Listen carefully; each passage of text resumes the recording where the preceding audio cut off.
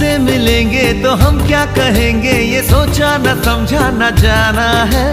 शायद कहे ऐसे उनका हमेशा से सरा